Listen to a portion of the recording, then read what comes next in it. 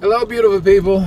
My day is over. I've had a very busy day, very productive day, though. But uh, just want to thank God that uh, we were able to execute a contract today. Yay!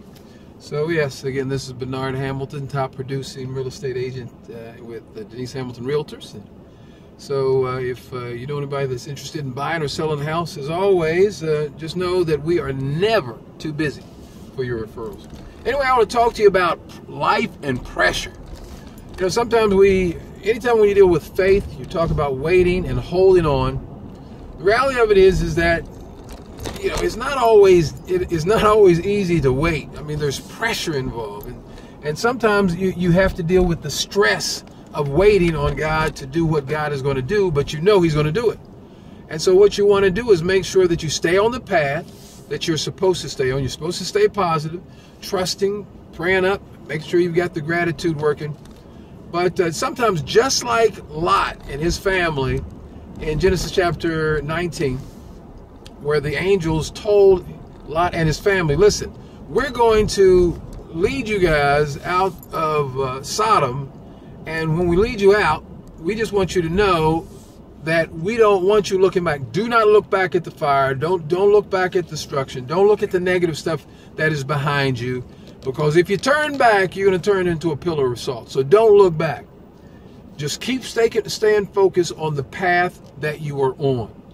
And that's the and that's what happens to us. It's like it doesn't matter uh, what's going on in the negative. I mean, you, the money may not be right, the relationship may not be right, uh, the job may not be right, the health may not be right.